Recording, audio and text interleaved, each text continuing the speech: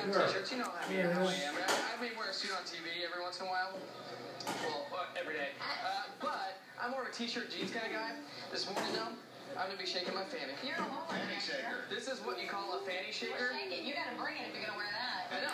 You gotta bring it. Well, we're gonna get you to get a FAN-e Shaker on as well. We're gonna be talking to the to the folks uh, deciding coming up in just a little. Well, I know how to shake a fanny. I can tell you that. I'm, I'm, I'm donning my orange. oh wow. Yes. On that note back to class. This is so fun because we were trying to figure out what class we wanted to say